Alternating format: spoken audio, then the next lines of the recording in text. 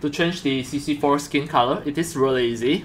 What you need to do is just go to the material and you need to select four of them. That is the head, body, arm, and leg.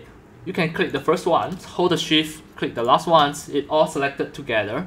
Next, just scroll down in these parts, right click, adjust color.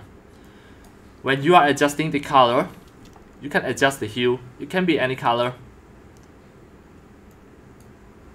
Just you, you adjust the hue, you can get any color.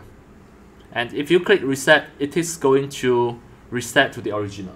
And you also can change the skin darkness just by manipulating the brightness. Just make the brightness to become darker. It is really easy. It automatically will save inside all the material texture and when you export as FBX file, it is automatic use the safe versions of the base color, the diffuse map, and you can just bring it to any other third-party software by using the FBX file exported. And that's all for today. Thank you for watching.